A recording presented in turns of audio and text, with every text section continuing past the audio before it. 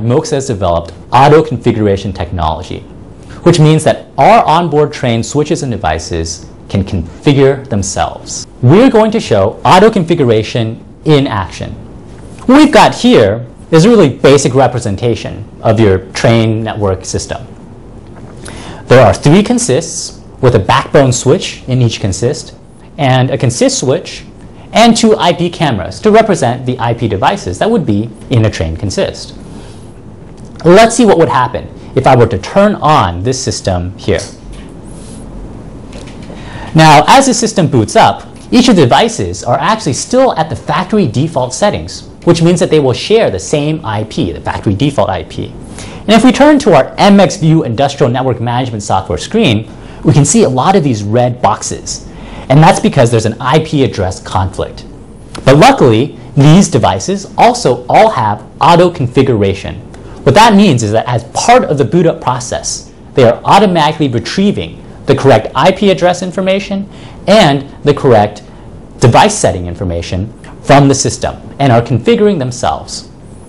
Which means that gradually, this entire system will learn what the correct configuration is, and there will be no more IP address conflicts because each individual device will have retrieved the correct IP address from the central control computer.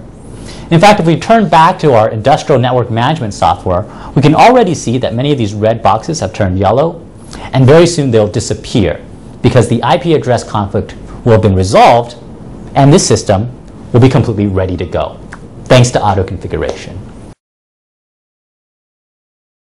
Let's take another look at auto configuration. Here we've got our train system.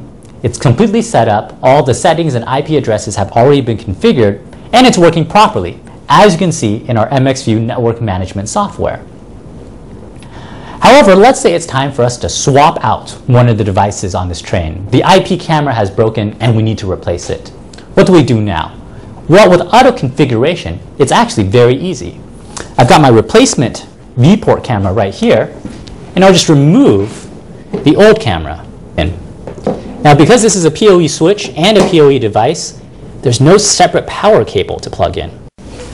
The new camera will use auto configuration to automatically retrieve the correct configuration setting information and IP address from this existing system. So even though right now in MXView this camera has a red box around it, but it also has auto configuration. So as you can see, it's already started to work on retrieving the correct IP address and the correct device settings from the system. Thanks to auto configuration, this vPort, as it's booting up, is automatically configuring itself. And if we wait just a little bit, it will be fully configured and ready to go. All I had to do was unplug my old vPort and plug in my new vPort for everything to just work. We can do the exact same thing with Ethernet switches or other Ethernet devices that support auto configuration.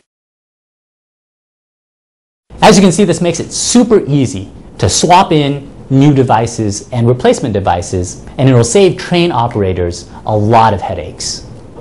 We created auto configuration because MOXA listened to railway customers. Thanks to auto configuration, there's no more time-consuming setup of these Ethernet switches and devices.